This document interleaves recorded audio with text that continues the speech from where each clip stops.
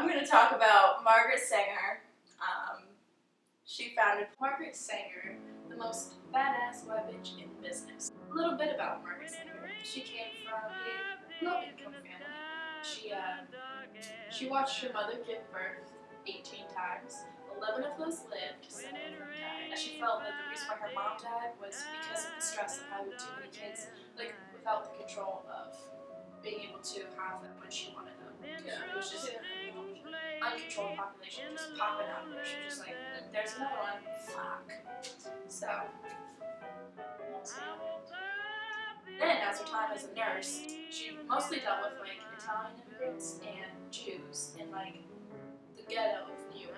And she would treat like people who had like tried to do abortions on themselves and uh, just how botched they were made her like really sad.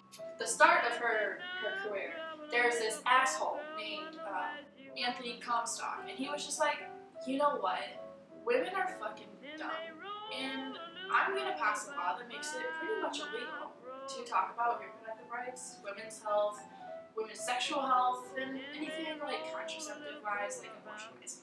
So that was fun. That was passed in 1872. Margaret was a pretty bad bitch. She had a article in the New York Times and she talked about women's reproductive rights because nobody knew anything. And she's like, hey, you have a vagina, you should probably care about it. That was in direct violation of the Comstock Act and she got in trouble for that. Her last like conclusion to the series was um, it was titled "What Every Girl Needs to Know," um, nothing, by order of the U.S. Post Office, and then it was followed by like an empty text box. So I think that was like it's like a big fuck you, big middle finger to like everyone who's trying to be like, Margaret, no, like, get back. After Margaret got basically kicked out from writing for the New York Times, she came out with a publication called Woman Rebel, and she talked about just the fundamentals of birth control, women's reproductive rights, abortions, everything you need to know.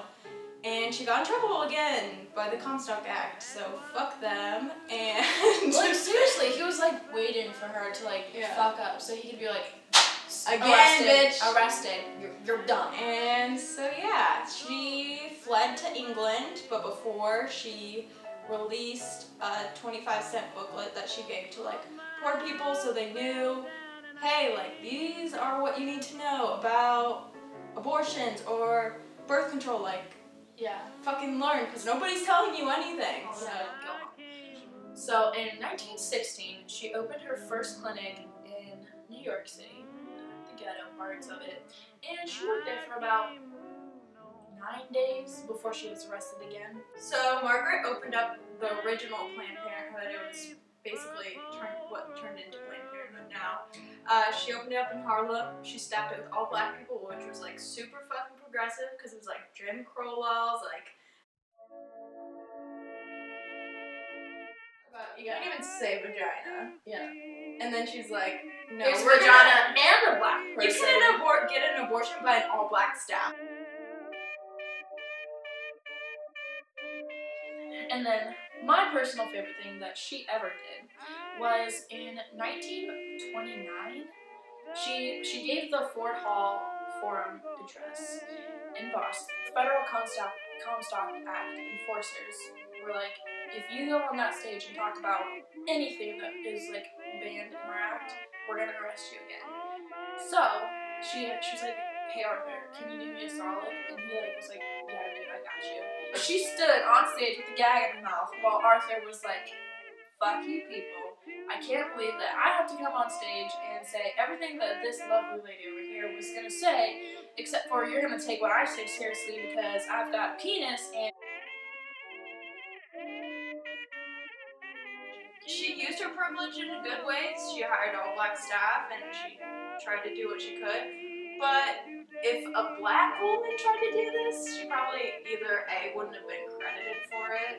I mean there probably were. We just don't Yeah. know about them because we only know She's publicized like white people and what they do. Words of one of our generation's most talented recording artists. No. Concerning back alley abortions, I would like to sing you a new song. Your price is way too high. You need to cut it. Hashtag Donald Trump children wrong. It's true.